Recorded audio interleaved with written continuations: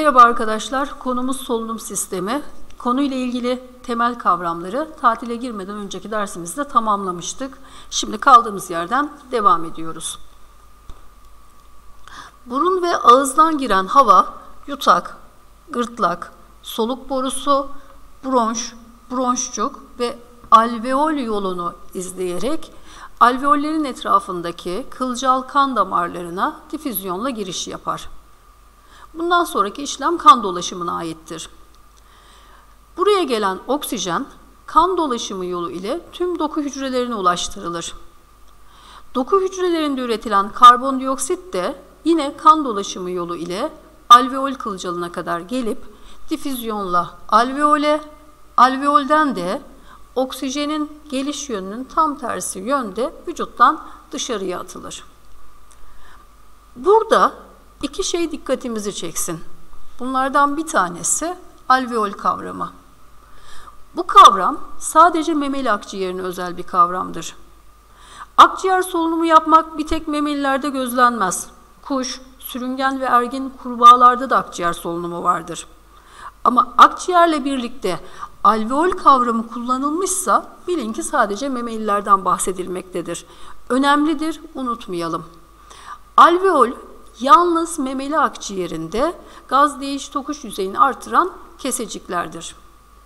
Dikkat edeceğimiz bir diğer kavram difüzyon kavramıdır. Alveolden alveolü çevreleyen alveol kılcalına difüzyonla oksijen geçişi. Alveol kılcalından alveole difüzyonla karbondioksit geçişi olur demiştim. Tüm canlılarda gaz giriş çıkışları her zaman difüzyonla gerçekleşir. Başka bir kavram düşünülemez. Bir de solunum yolunu söylerken burun ve ağız yoluyla giren hava dedim. Böyle demiş olmama rağmen havanın girmesi için beklentimiz burundur. Hava giriş çıkışı burunla sağlanmalıdır. Zaten ağızdan hava girişi konuşurken ya da burnumuz tıkalıyken gerçekleşir. Burnumuzdan hava girişi niye kıymetli? Burundan giren hava sinüs boşluklarından geçerken süzülür, nemlendirilir ve ısıtılır. Burada bulunan mukus ve kıllar süzülüp nemlenmeyi sağlarken kılcal kan damarları da ısıtılmasını sağlar. Oysa ağızdan hava girdiği zaman hava süzülememiş olacaktır. Kuru ve soğuk olacaktır.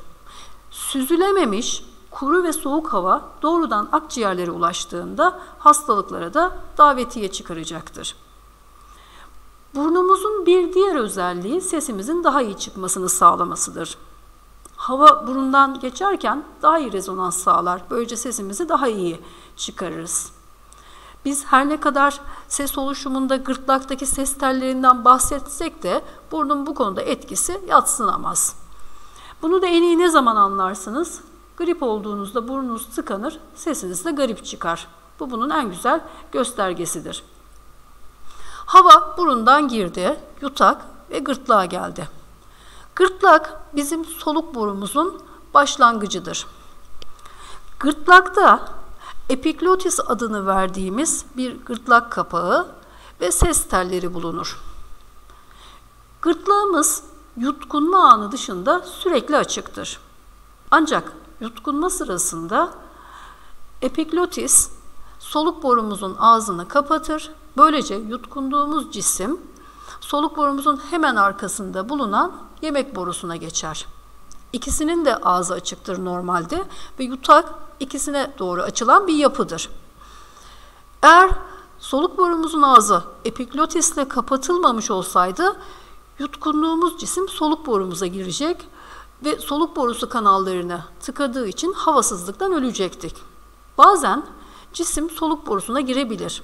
Bu kez de omurilik soğanı tarafından denetlenen bir öksürme refleksimiz vardır. Bu refleks cismin dışarıya çıkmasını sağlar.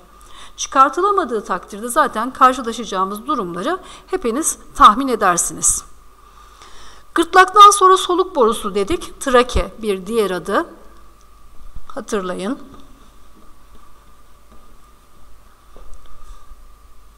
Şöyle de gösterelim. Soluk borusu trake. Akciğere girerken iki kola ayrılır. Bronş. Bronşlar daha küçük kollara ayrılır. Bronşçuk. Bronşçukların sonunda da sadece memeli akciğerine özel diye belirttiğimiz alveoller bulunur. Bunların etrafı da bol kılcal kan damarıyla çevrelenmiştir. Soluk borusunun yapısını bir hatırlayalım. Yalnız önce şurayı bir silelim.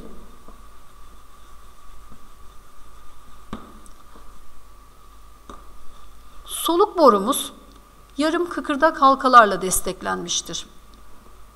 Bu halkaların devamında arkada düz kas var. Halka niye tam değil? Soluk borumuzun hemen arkasında yemek borusu olduğunu unutmayalım. Bu yüzden yarım kıkırdak halka ve devamında düz kas. İç kısımda silli silindirik epitel hücreler, bir de mukus salgılayan goblet hücreleri bulunur. Buraya gelen toz, polen, yabancı madde silli epitel hücreler tarafından tutulur. Mukusun da yardımıyla balgam şeklinde vücuttan dışarıya atılır. Soluk borusunun bu yapısı bronşçuk ve bronşlarda da hemen hemen aynıdır. Arada ne fark var? Kıkırdak halka bronşlarda tamdır. Bronşçuklarda da bu kıkırdak halka bulunmaz. Geriye kalan yapı aynı özelliktedir.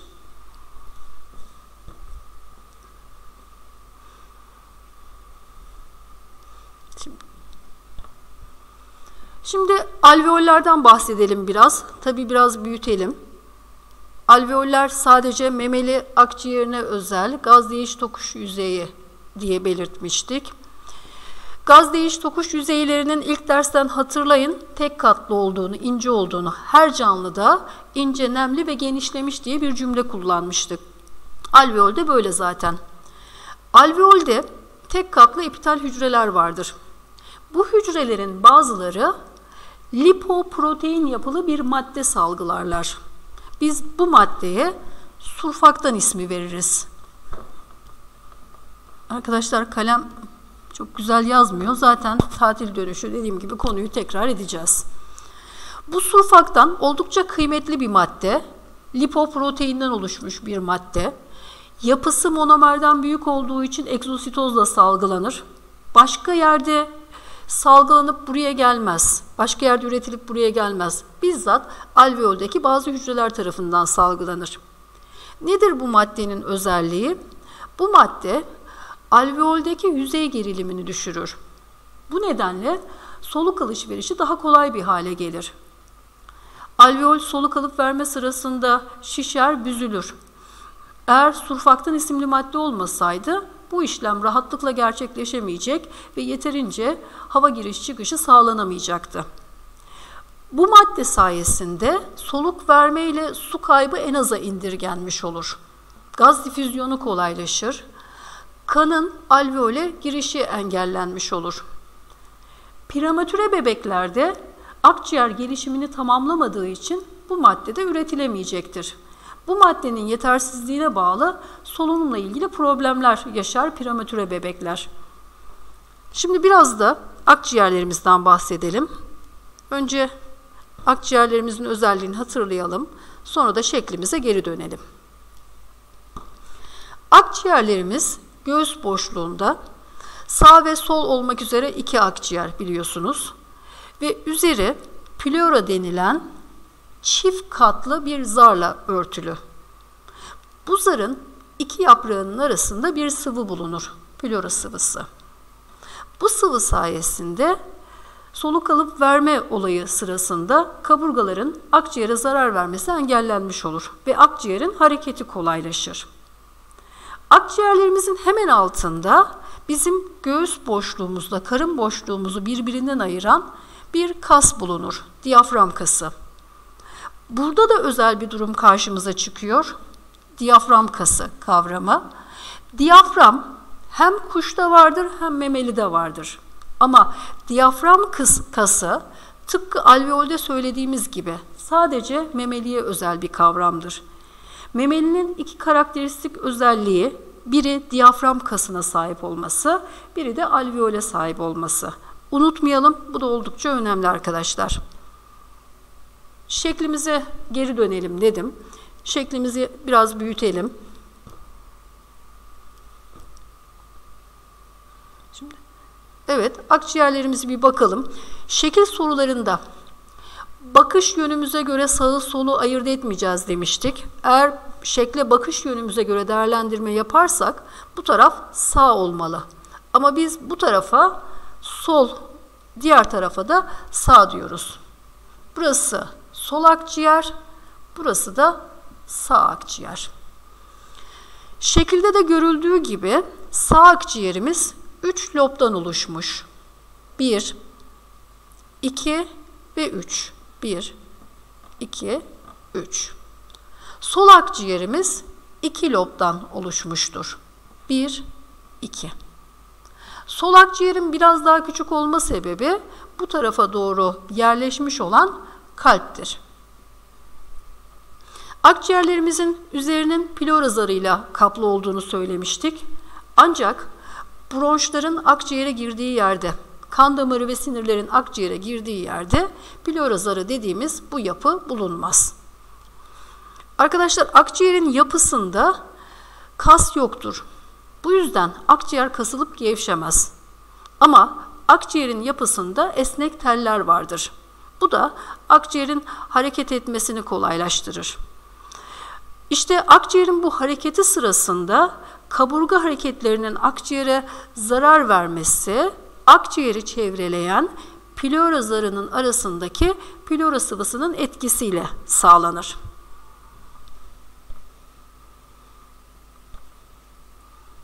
Şimdi konumuza devam edip soluk alıp verme mekanizmasından bahsedelim biraz. Yine şekli biraz büyütelim.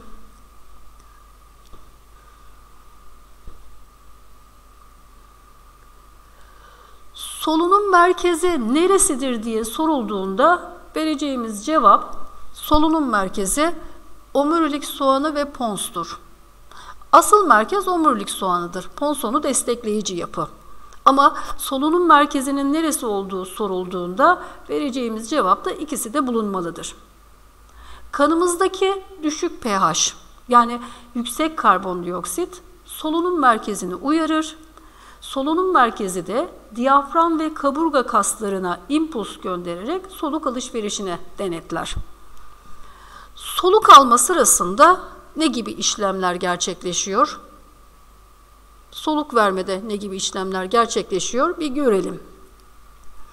Akciğerlerimizin altında diyafram kası dediğimiz bir yapı bulunur demiştim.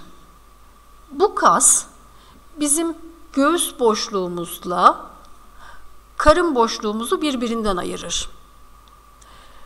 Diyafram az önce söyledim hem kuşta hem memelide var ama diyafram kası kavramı sadece memelide var. Kuştaki diyafram kaslı yapıda değil. Sonuçta bu diyafram göğüs boşluğuyla şu bölge karın boşluğunu birbirinden ayırıyor. Soluk alma sırasında diyafram ve kaburga kasları kasılır. Ve kubbe şeklindeki diyafram düzleşir.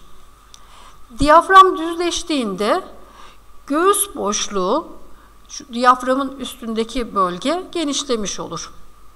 Göğüs boşluğu hacmi artınca iç basıncı azalır. İç basıncın azalması dışarıdan içeriye hava girişini sağlar. Çoktan aza kuralına göre dışarıdan içeriye doğru hava girer. Soluk vermede tam tersi gerçekleşir. Soluk verdiğimiz zaman düzleşmiş olan diyafram tekrar eski haline dönecek, kubbeleşecek. Tabi bunun için diyafram ve kaburga kaslarının gevşemesi gerekir. Şu düzleşmiş görüntü tekrar kubbe haline döndü soluk vermede. Göğüs boşluğu bölgesi hacmi daraldı. Bu arada karın boşluğunun hacmi arttı. Göğüs boşluğu hacmi daralınca iç basıncı arttı.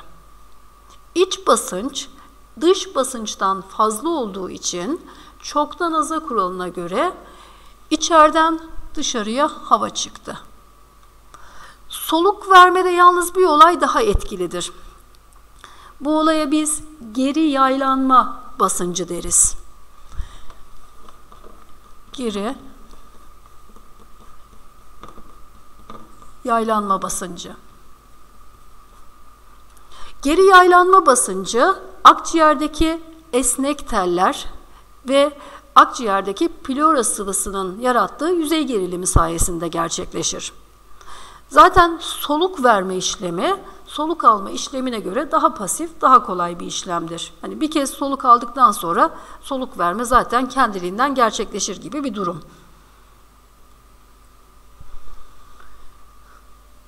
İlk dersimizde solunum pigmentleri diye bir kavramdan da bahsetmiştik. Trake solunumu dışında solunum yapan tüm canlılarda böyle bir kavram var. Solunum pigmentleri solunum gazlarını doku hücrelerine götüren, doku hücrelerinden atık gazı alıp yine solunum organına getiren metal ve protein yapılı moleküllerdir. Bir tek hangi solunum şeklinde yok dedik? Trake solunumunda solunum pigmenti dediğimiz bir kavram yok. Bu canlıların kanı var ama bu canlıların kanı solunum pigmenti bulundurmadığı için bu canlıların kanları solunum gazı taşımaz. Diğer özellikler açısından benzer diğer canlıların kanlarının yaptığı işlemlere. Ama solunum gazı taşıma adına unutmayın trake solunumu yapan canlılarda kan solunum pigmenti bulundurmaz. Solunum pigmenti bulundurmadığı için de kanları solunum gazı taşımaz. Bu canlıların solunum gazları solunum organlarıyla taşınır. Aynı durum bizde de olsaydı bir düşünün. Akciğerlerimizin vücudumuzun her noktasına kadar ulaşması gerekirdi. Akciğerlerimizin vücudumuzun neresinde bulunduğunu bir hatırlayın. Ne kadar bir bölge kapladığına. Trake solunumu yapanlarda trake boruları hayvanın vücudunun her tarafına uzanır. Oysa bizde akciğerler sadece hava giriş çıkış alanlarıdır. Geriye kalan işlemi kan dolaşımı halleder. İşte kan dolaşımında oksijeni dokuya götüren, dokudaki karbondioksiti alıp akciğere getiren aracı molekül solunum pigmentidir. Ve o solunum pigmentinin de adı hemoglobindir. Başka solunum pigmentleri de vardır çeşitli canlılarda. Hemoglobinin yanı sıra hemosiyanin, hemoeritrin ve kleokroin gibi pigmentler de vardır. Bunlar müfredatımızda artık olmadığı için bizi ilgilendiren solunum pigmenti sorularında karşımıza hemoglobin isminin çıkacağıdır. Ama şunu bilmemiz gerekir. Tüm solunum pigmentleri metal ve protein içerir. Bu metal bakır ya da demirdir. Kana renk verirler solunum gazları ile de çift yönlü reaksiyona girerler. Yani bir pigment oksijeni bağladığı gibi bırakması gereken yerde de bırakır. Aynı şekilde karbondioksiti bağlaması gereken yerde bağlar, bırakması gereken yerde de bırakır. Tüm omurgalıların ortak olarak solunum pigmentinin ismi hemoglobindir. Demir ve proteinden oluşmuş bir pigment bütün omurgalıların ortak solunum pigmenti, oksijen ve karbondioksit taşıyıcısı. Ve bulunma yeri de kan hücresi içi, alüvar. Buradan şunu çıkarabilirsiniz. Solunum pigmenti her zaman kan hücresinin içinde olmaz. Ama tüm omurgalılarda solunum pigmenti hemoglobin bir kere ortak. Bulunma yeri yine ortak, al yuvarın içi. Eğer bir solunum pigmenti Kan hücresinin içindeyse o canlının oksijen taşıma kapasitesi yüksektir. Solunum pigmenti kanın plazmasında bulunuyorsa o canlının da oksijen depolama kapasitesi yüksektir.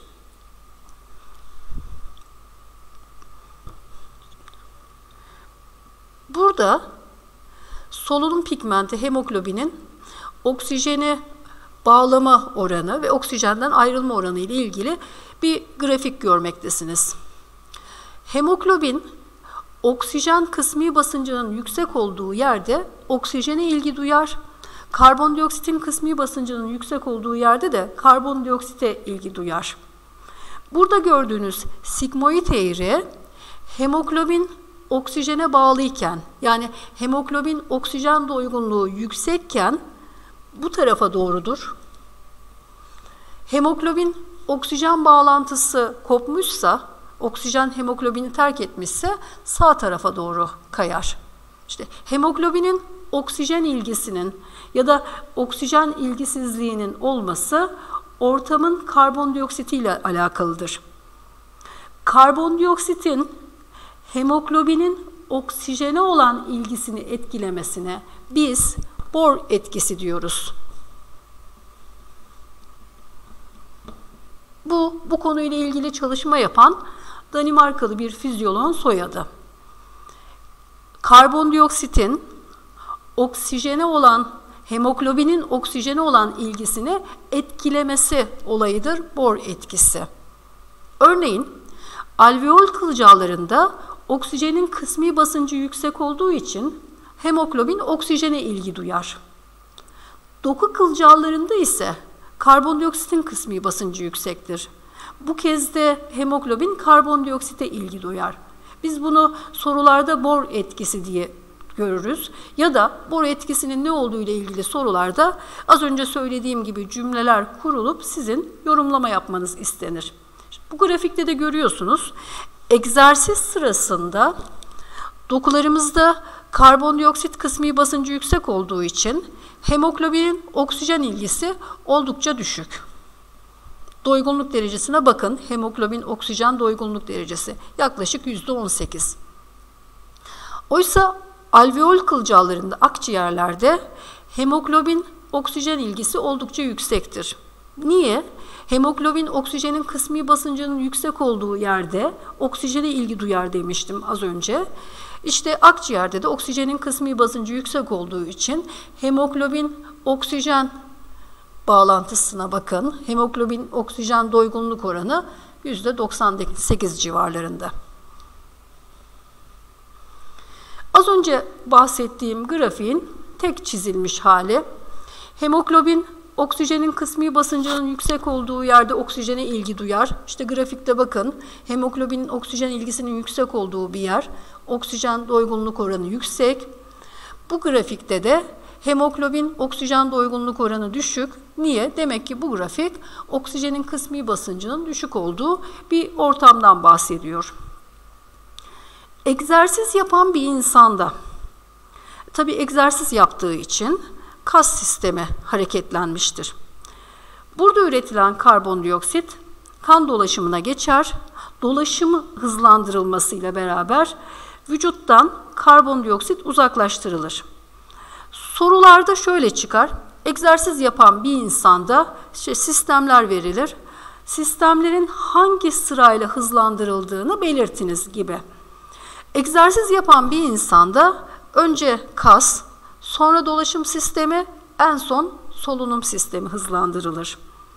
Niye böyle bir sıralama gerçekleşir? Kas sistemiyle beraber, kasla beraber kana geçen karbondioksit kanımızın pH'ını düşürür. Düşük pH omurilik soğanını uyarır. Karbondioksit eşittir düşük pH. Omurilik soğanı önce dolaşım sistemini hızlandırır. Niye? Karbondioksitin bir an önce vücuttan uzaklaştırılmasını sağlamaktır amaç. Daha sonra solunum sistemini hızlandırır. Öyleyse sıralama kas, dolaşım ve solunum sistemi olmalıdır. Arkadaşlar bundan sonraki kısımda solunum gazlarının taşınmasından bahsedeceğiz. Oksijen ve karbondioksit taşınması. Şimdi küçük bir mola verelim. Bir sonraki videomuzda solunum gazlarının